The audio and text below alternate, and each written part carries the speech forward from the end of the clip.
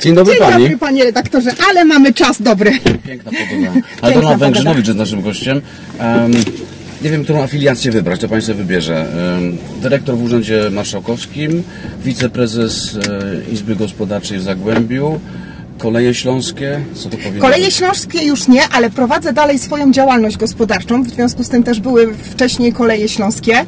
E, jako, jako rzecznik prasowy prowadzę dalej swoją działalność i tak naprawdę obsługuję PR-owsko e, i piszę e, trzy gminy i dwie firmy jeszcze. Dlatego pytam, która afiliacja jest najbliższa życiu Każda, najlepiej kobieta pracująca. Kobieta pracująca. Jak to mówi mój małżonek, jak e, kręcili 40-latka e, i e, Irena Kwiatkowska, która tam występowała no, w tej swojej słynnej roli ko kobiety To pracującej, to z reżyser, reżyser się zawsze śmieje, mój mąż się śmieje, że reżyser jeszcze wtedy nie znał Aldony Węgrzynowicz. No dobrze, spotykamy się z ludźmi życia publicznego na Śląsku i w Zagłębiu, żeby trochę powspominać 1 maja sprzed 20 lat, wtedy kiedy wchodziliśmy do Unii Europejskiej. W tym przypadku tu latek było niewiele, ale też nie tyle, żeby interesowało w zachodniej Europie, nie wiem, Miśki Haribo czy, czy Bravo Geralt. Już coś innego musiało interesować. Pamięta Pani ten czas? Oczywiście, że pamiętam, bo pracowałam już wtedy w służbie celnej. O. Pracowałam w służbie celnej, w związku z tym pamiętam, e, byłam celnikiem i to wtedy takim celnikiem, który, e, który bezpośrednio zajmował się odprawami celnymi. Się miało kontakt z Zachodem często. E, bardzo, bardzo, więc wtedy pracowaliśmy w zupełnie innych realiach i pamiętam ten dzień, jak, e, uwaga, e, zmieniały się przepisy, no bo e, wiadomo, wstąpienie do Unii wiąże się też ze zmianą przepisów i pracowaliśmy wtedy nie powinnam tego powiedzieć, ale teraz to już pewnie przedawnienie historia. po 20 godzin, żeby My są takie obszary w polskiej wszystkie gospodarce, gdzie tu się ciągle dzieje. więc- po 20 godzin. Pamiętam, że mój małżonek, który jeszcze nie był małżonkiem, dowoził mi e, obiady, żebyśmy nie, nie padli tam na posterunku, ponieważ e, no, musieliśmy nadrobić wszystko to, co, co się rzeczywiście wtedy e, zmieniało. Także ja jeszcze doświadczyłam tej zmiany granic, ponieważ wcześniej też e, pracowałam, dorabiałam sobie na studiach jako, jako pilot wycieczek zagranicznych, no to też widziałam, jak to się zmieniało na tych e, granicach. No i miałam e, okazję tak bardzo bezpośrednio e, widzieć tą zmianę. Już później jako rzecznik służby Jasne. celnej, no często, często jeździłam na te otwarte granice. Zresztą pamiętam na przykład taką e, rocznicę, piątą rocznicę wstąpienia do Unii Europejskiej, kiedy to na moście w Cieszynie, na moście przyjaźni podpisywaliśmy takie międzynarodowe porozumienie właśnie o wspólnym, e, o współdziałaniu służb e, celnych Polski, Czech, Słowacji, Węgier jeszcze wówczas. No takie fajne wydarzenia historyczne. E, Pytam o ten moment, bo się zastanawiam, czy celnik się wtedy o robotę nie bał. e, bał się. To był w ogóle bardzo trudny okres dla naszej zup, wtedy e, katowickiej. Bo on likwidowali e, stanowiska pracy właściwie. Śląskiej Izby, granice. tak, Śląskiej Izby to był bardzo trudny okres. To był okres, kiedy część pracowników służby celnej była przeniesiona na wschód w ramach wzmacniania granicy wschodniej. Część tą pracę traciła. E, Wówczas to doszło też do połączenia Katowickiej Izby Celnej z Cieszyńską Izbą Celną. Wiadomo, cała nasza tutaj południowa granica e, no, przestała istnieć, więc zmienił się też charakter e, Waszej naszej pracy. pracy. Zdecydowanie. Dużo osób wtedy straciło pracę, część osób dostało przeniesienia w inne miejsce. Pamiętam moich kolegów, no, którzy, którzy dostali przeniesienia tak naprawdę z dnia na dzień na, na wschodnią granicę. A byli tacy, którzy mówili, jak diabli wezmą tą Unię Europejską, po co nam to było? Tracę Oczywiście, zwłaszcza wtedy. Tak? zwłaszcza wtedy w naszym, w naszym środowisku, no to przede wszystkim był strach, była niepewność, no bo nikt nie wiedział, e, czym to się będzie jadło. E, no i tak e, delikatnie tylko wspomniałam o tym, ale prawda jest taka, że te przepisy były dostosowywane przez wykonawcze zwłaszcza. E, My pracowaliśmy, a nie mieliśmy przepisów wykonawczych, więc wszystkie te odprawy Pionierski czas. czekały. Dokładnie tak, to był bardzo, e, bardzo trudny też dla nas czas. No taki mocno niespokojny, no ale okazuje się, że, że wszystko się udało. A potem przyszły doświadczenia gospodarcze, choćby z Izbą, gdzie musiało być widać przez całe lata być może, bo to nie był taki, taki gwałtowny proces, ale można było go dostrzec, jak się gospodarczo to miejsce zmieniało. Tam w Zagłębiu, w którym Pani prowadziła tę swoją Bardzo. ekonomiczną aktywność. Bardzo się zmieniało. E, no przede wszystkim też dzięki samym przedsiębiorcom, którzy e, ubiegają się o wszelkiego rodzaju dofinansowania z Unii Europejskiej. E, zresztą ta przedsiębiorczość też się pobudzała dzięki tym dofinansowaniom z Unii Europejskiej. Przyznam szczerze, że ja sama z tego też skorzystałam. A to myślę bo... w ogóle, że, że dla samorządowców, dla działaczy lokalnych którzy dbają dla samorządu gospodarczego, musiały się w ogóle realia zmienić całkowicie. Zupełnie. Zupełnie się zmieniły realia funkcjonowania i ci, którzy wykorzystali ten moment i którzy dalej wykorzystują e, te możliwości, które się pojawiły w związku e, z naszym członkostwem w Unii Europejskiej, no bardzo mocno się rozwinęli, dlatego że skorzystali z tego dofinansowania, e, skorzystali z funduszy, które były ogromne, a przypomnę, będą największe, odkąd wstąpiliśmy do Unii Europejskiej w tej nowej perspektywie perspektywie 2021-2027 w tych latach dostaniemy największe dofinansowanie, e, jakie do tej pory e, dostaliśmy z Unii Europejskiej. To Premier Morawiecki 700, się spisał. Tak, no powiedzmy, śmiać, no. powiedzmy, że tak. 770 miliardów złotych to jest w przeliczeniu w całości. No nasze województwo śląskie jest tutaj rekordowe. A niech Pani powie, czy, i to pytam o doświadczenia osoby aktywnej w samorządzie gospodarczym właśnie. Czy to są pieniądze, które zostały wykorzystane w taki sposób, żeby te firmy sobie w dalszych perspektywach pozbawionych tego finansowania albo przy mniejszym finansowaniu poradziły, czy zostały jednak no, w dużej mierze skonsumowane po prostu? Uważam, że e, tak e, obserwując, e, obserwując te firmy, które, które mam szansę obserwować i w, tutaj w Zagłębiu i z takiej swojej bliskiej działalności, ale i też w województwie śląskim naszych moich znajomych, którzy, którzy prowadzą działalność gospodarczą. Myślę, że mimo wszystko bilans wychodzi na plus, to znaczy część, zdecydowanie większość wykorzystała te środki prorozwojowo, czyli teraz sobie świetnie poradzą w tym e, nowym funkcjonowaniu, bo wykorzystała je tak naprawdę na rozwój, a kolokwialnie mówiąc, no nie przejedli tych środków. Zapewne znaleźliby się tacy, którzy zainwestowali je tak bardzo krótkoterminowo, krótkowzrocznie patrząc, natomiast myślę, że, e, że są oni mniejszością. To jest Pani pytanie w istocie o jakość taką mentalną śląskiego, zagłębiowskiego przedsiębiorcy.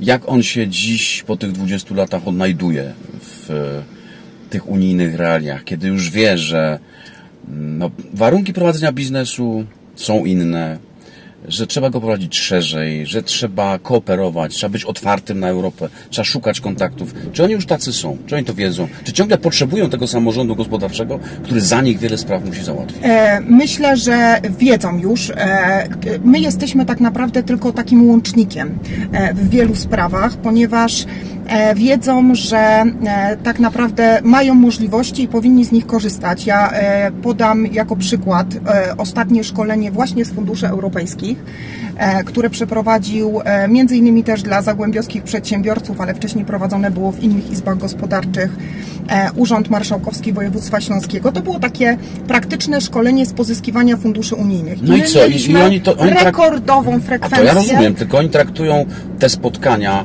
jako rodzaj integracji środowiska, czy rzeczywiście mogą tam się czegoś nauczyć i łakną takiej wiedzy praktycznej, merytorycznej, która przyda się im Łakną też wiedzy praktycznej i merytorycznej, czyli pani ekspert, która bezpośrednio zajmuje się e, doradztwem w kwestii funduszy europejskich, na co dzień przy tym pracuje, była oblegana i e, później e, po, po szkoleniu i w trakcie było mnóstwo pytań.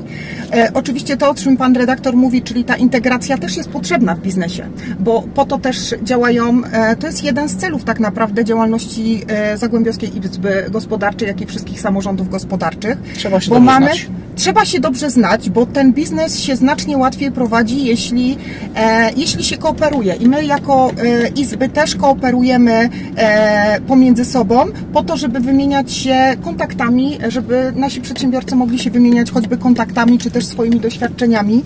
Nawet teraz taki projekt realizujemy, który, który jest tak naprawdę pomysłem Jaworznickiej Izby Gospodarczej. I to jest taki projekt wspólnych spotkań branżowych. Wczoraj odbyło się pierwsze takie spotkanie branżowe, akurat tutaj z branży budowlanej, kiedy to łączymy różnych przedsiębiorców zrzeszonych w poszczególnych izbach, w tym przypadku e, Chrzanowskiej, Jaworznickiej i Zagłębiowskiej, po to, żeby powymieniali się swoimi doświadczeniami, bo wiadomo, że jak to są doświadczenia z branży, e, no to są one im przydatne w codziennym funkcjonowaniu. No właśnie, ale też wy, wy izby, też nie możecie kawusi popijać, no bo przedsiębiorcy zrzeszeni w izbach do Was przyjdą i będą pytali, no pomóżcie nam, Wy wiecie więcej, Wy macie znać o te przepisy, ogarniać je, to Wy macie nam nieść pomoc.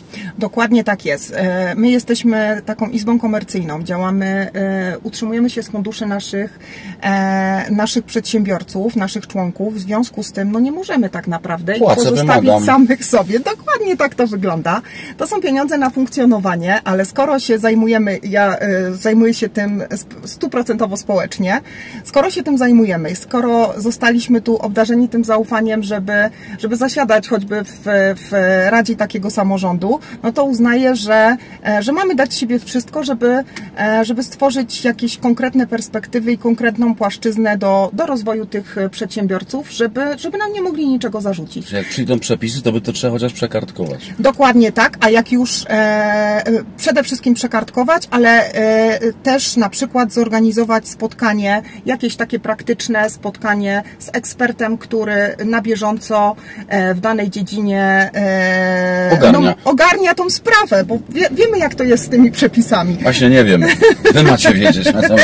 Na szczę- w ogóle generalnie jak jest z przepisami w Polsce. Trzeba je ogarniać, bo nieznajomość prawa e, szkodzi, no i sami ponosimy konsekwencje tej nieznajomości przepisów. Jak to jest w tych wyborach, pani kandydat? Kobiety zmienią śląskie? Ja myślę, że zmienią Śląskie. No, ze swoją energią, z pomysłowością liczę na to, że zmienią Śląskie. Ja też e, jestem takim koordynatorem inicjatywy Śląskie dla Kobiety, która została reaktywowana we wrześniu 2023 roku. Wcześniej e, została tak naprawdę zainicjowana przez e, marszałka, ówczesnego marszałka e, województwa śląskiego Wojciecha Saugę w 2018 roku e, i w 2023 ją tak mocno reaktywowaliśmy i widzimy po tym, ponieważ organizujemy mnóstwo różnego rodzaju wydarzeń e, i takich stricte rozrywkowych, ale i też profilaktycznych w szerokim zakresie, bo e, zajmujemy się i profilaktyką nowotworów, nie tylko nowotworów piersi, e, wszelkich nowotworów, ale i też e, trochę psychiką kobiet. E, No staramy się tak e, pomagać e, kobietom na wszystkich płaszczyznach. Bo jak ma śląskie zmieniać kobieta, to musi być zdrowa najpierw. No, to jest też, prawda jest też taka, że w tym schemacie kobiet, te kobiety śląs- na, w województwie śląskim, bo nie powiem tutaj, że na Śląsku, e, bo, bo to nie byłoby aktualne i prawdziwe, to są takie silne kobiety, to są takie śląskie, Okej. silne baby. Proszę wybaczyć, bo to nie jest tak, że mizogin się odzywa i jakiś taki zapieczony chłop, ale kobiet w populacji jest więcej.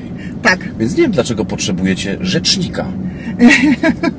Czy my potrzebujemy rzecznika? A Powiem nie tak, potrzebujecie? Jest taki pomysł, żeby się pojawił rzecznik spraw kobiet. E, powiem tak, e, jest Rzecznik Spraw Kobiet. E, ja, uwa- ja uważam, że tak na dobrą sprawę. Oczywiście musimy się zrzeszać. E, siła jest w kobiecie, bo jeszcze jest dużo obszarów, które, w których nie nadrobiliśmy odpowiedniej, których, w których nie, nie odrobiliśmy tej naszej lekcji, bo na przykład w Polsce statystyki jasno mówią, że jeśli chodzi o wyższe wykształcenie, no to zdecydowanie więcej kobiet e, ma to wyższe wykształcenie, jest bardziej konsekwentnym w ogóle w zdobywaniu tego wykształcenia, w e, uczeniu się przez całe życie. Jestem też e, członkiem takiego zespołu e, wojewódzkiego kolokwialnie mówiąc, w skrócie mówiąc, uczenia się przez całe życie, więc kobiety się e, są bardziej konsekwentne. Tak, w uczeniu się przez całe życie, ale już w zarządach zasiadają głównie panowie. I czemu Więc tak jest? Coś tu nie gra. No gdzieś, gdzieś popełniamy błąd. Pewnie my jako kobiety, my jako społeczeństwo. E, ja nie, powiem tak, ja myślę, że ja nie jestem do końca e, taką typową emancypantką. E, nie obrażam się, jak ktoś do mnie mówi pani członek, a nie pani członkini. e, Czyli feminatywy niekoniecznie. Niekoniecznie, e, niekoniecznie, bo myślę, że to e, nie ten, to nazewnictwo robi z nas niezależne kobiety. E, I wcale nam nie uwłaszcza, przynajmniej mnie osobiście, no powiem tak, nie czuję się gorszą tylko dlatego, że gotuję, jestem oddana w swoim domu, sprzątam i, no i potrafię łączyć niektóre role i wcale tego nawet nie mam zamiaru sprawiedliwie dzielić w domu. Kobiecy multitasking. dokładnie tak, dokładnie tak. Ale w jaki sposób rola kobiet ma być w tych y, wyborach jakoś szczególnie mocno wyeksponowana, tak żeby to przyniosło, no umówmy się, no, polityczny zysk? Znaczy powiem tak, kobiety są łagodniejsze i wrażliwsze. I widzimy to, że tam, gdzie rzeczywiście władzę sprawują kobiety, a zwłaszcza jeśli mówimy właśnie o samorządzie, czy jeśli mówimy e, nawet o kwestiach rządowych, e, to to spojrzenie na świat i ta polityka jest łagodniejsza, jest bardziej wrażliwa. Myślę, że my teraz żyjemy w na tyle trudnych i niebezpiecznych czasach, no bo wszyscy czujemy to zagrożenie e, i ten oddech naszych, naszego sąsiada ze wschodu. No tu potrzebujemy delikatnych, łagodnych E, nie, nie, nie. Natomiast potrzebujemy polityków, którzy są stanowczy, e, ale którzy też potrafią, e, potrafią to wszystko wyważyć, no choćby w tym takim rządzeniu naszym krajowym. Myślę, że już mamy dosyć tych waśni, kłótni i wszelkiego rodzaju takiego panoszącego się zła, więc myślę, że trzeba, trzeba trochę stanować tą naszą politykę. I to kobiety zrobią. I to zrobią kobiety. No ale mówimy o lokalnej polityce, tu naszej, przecież takie wybory przed nami. E, tak. Jak, jak, chcecie to przełożyć na ten zysk polityczny, czy samorządowy, no już tam nie, nie spróbujmy to jakoś oddzielić jedno od drugiego. Jak da się wygrać wybory, czy zaistnieć ich mocniej, akcentując sprawy kobiet? Znaczy powiem tak, przede wszystkim no musimy e, ciężko jest, jeśli tak naprawdę o sprawach, które dotyczą bezpośrednio kobiet, no choćby, nie wiem, kwestia, e, kwestia aborcji, czy też in vitro, wypowiadają się panowie, bo tak na dobrą sprawę, no niestety statystyki też mówią o tym, że e, no bardzo często zdarza się, że jeżeli, e, jeżeli kobieta rodzi dziecko, e, które jest niepełnosprawne, to bardzo często zdarza się, że e, mężczyzna i tu e, nie, nie chciałabym generalizować, ale e, zostawia tą kobietę e, samą z, z tym problemem. No, no, mimo wszystko jesteśmy, jesteśmy tutaj chyba silniejsze psychicznie i poza no, tym no, jeszcze, jeszcze instynkt działa. Instynkt działa.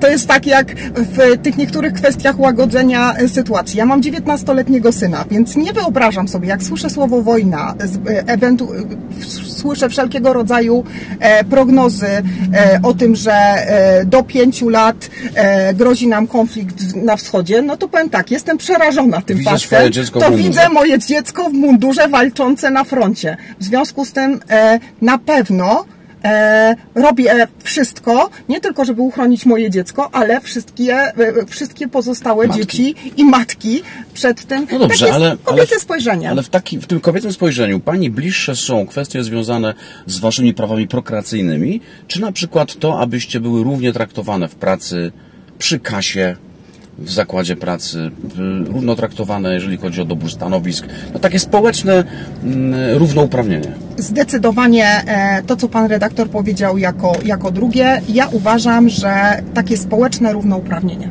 Żebyśmy, żeby rzeczywiście o tym, e, ile zarabiam e, jako, jako prezes kobieta, czy jako dyrektor kobieta, nie A decydowała. Nie, nie, nie, nie, nie, jako, nie zarabiam nic jako prezeska. To okay, jest nie, społeczna. To, to, nie, nie, to żeby nie decydowały względy. Ale to poważnie, względy, dyrektor, a myślę, że pani prezes, są. Pełni Pani kilka funkcji. Tak. Jedne społecznie, inne y, zawodowo, czy odpłatnie. Pobiera Pani mniejsze pieniądze niż Pani równo, równoleżniki y, chodzące w garniturach? Ja absolutnie nie, ale wiem, że już przy obsadzaniu tych stanowisk niestety płeć ma znaczenie. Spojrzałam, e, uczestniczyłam w uroczystości 25-lecia samorządu w województwie śląskim i e, tak jak mówię, e, ja nie jestem feministką chyba, mimo tego. Jestem chyba silną kobietą, ale nie jestem. Zdecydowanie nie. Zdecydowanie nie.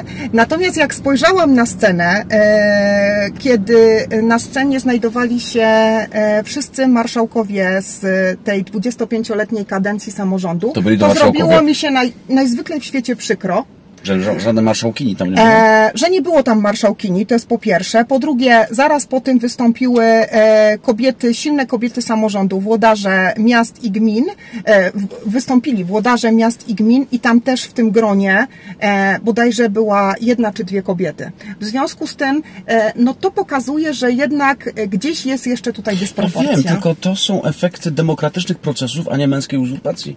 Myślę, że tak. Pewnie w jakimś stopniu tak. Natomiast jak będziemy bardzo mocno podkreślać, że e, no, e, e, mamy takie same prawa na rynku pracy, mamy takie same też obowiązki zwykle wykonujemy, bo to nie jest tak, że panie wykonują gorzej swoje obowiązki. Może nawet są bardziej zaangażowane w niektórych kwestiach. Takie, takie są moje obserwacje. E, bardziej dokładne, e, to myślę, że możemy oczekiwać tego, żebyśmy były tak samo No traktowane. właśnie, jest was więcej, macie w sobie świadomość, siłę i moc, ale efekt tego wszystkiego jest w was po prostu, w nikim więcej. Mężczyźni wam nie zabiorą tych stanowisk, które możecie piastować dzięki wyborowi. Tak, ale musimy też zmienić mentalność ludzi. E, e, nas wszystkich. To nie, że oczywiście będziemy zmieniać nasze otoczenie, a my, e, a my nie będziemy się zmieniać. Musimy też tego wymagać od siebie, żebyśmy zmienili tą społeczną mentalność, że kobiety są tak samo dobre i tak samo mogą sprawować wszelkie funkcje publiczne, mogą sprawować funkcje w samorządzie i naprawdę świetnie to wykonują. Trzeba zmienić chyba trochę mentalność naszą. A to Ale- z tym jest najtrudniej. No to, to o tym porozmawiamy przez chwilę. Pojawia się Pani na tych spotkaniach przedwyborczych. Wiem na pewno, że trwają godzinami. Tak, to Y, prawda. Spotyka tam Pani kobiety i co one Pani mówią? I co one mówią? Mimo wszystko jeszcze są moje takie spostrzeżenia, że tak, jeśli chodzi o aktywność, na przykład e, organizujemy spotkanie z mieszkańcami, to mimo wszystko bardziej aktywne są kobiety. One chcą przekazywać informacje na temat swojego codziennego życia, dzielić się swoimi spostrzeżeniami, choćby e, w zakresie tego, co powinniśmy poprawić. Natomiast e, jak przychodzi później do wyborów, to jako swoich reprezentantów mimo wszystko i tak wybieramy panów. Pytała Pani Tak. kobiety dlaczego? Nie mam zielonego pojęcia, dlaczego tak się dzieje. No staramy się, y, choćby właśnie w takich dyskusjach, ale i w też takich rozmowach jak z panem redaktorem, zmieniać tą świadomość w ten sposób, żeby, mm, żeby prowokować myślenie. A nie jest tak trochę, proszę wybaczyć, bo to jest może prostackie rozumowania, ale przychodzi mi do głowy w sposób naturalny. Czy to nie jest taki mechanizm, o nie kochana, ty tam nie pójdziesz. Skoro ja tam nie idę, to ty na pewno. Znaczy, jest jeszcze jedna kwestia, którą niestety bardzo mocno dostrzegam. E, My kobiety, e, może tu się e, część kobiet na mnie obrazi, ale my jesteśmy chyba trochę zazdrosne O o, siebie wzajemnie mówię. płciowo. W związku z tym panowie nie podcinają sobie wzajemnie skrzydeł, a my kobiety podcinamy te skrzydła. Nie wiem dlaczego tak się dzieje, bo przecież tak naprawdę no naszą siłą powinno być to, że, że jest nas dużo, że się wspieramy, bo tylko wtedy jesteśmy w stanie coś osiągnąć, a my mamy takie tendencje, żeby sobie się wzajemnie podcinać. Gdzieś tu u nas chyba ten gen zazdrości jest bardziej rozwinięty e, o, o, e, w tych kwestiach. Także niestety z przykrością stwierdzam, że to też zauważam. Ale to jest lekcja do odrobienia. To jest lekcja absolutnie do odrobienia. No i im więcej i głośniej będziemy o tym mówić i choćby przyznawać się, że tak jest, że takie coś dostrzegamy, no to może sprowokuje nas to do jakiegoś myślenia i do tego, żeby coś zmienić w tym zakresie. No, e, pewnie będzie to trwało latami, no ale starajmy się to zrobić. Na drodze do takiego samouświadomienia. Aldona Węgrynowicz, bardzo dziękuję za spotkanie. Ja również dziękuję Panie redaktorze.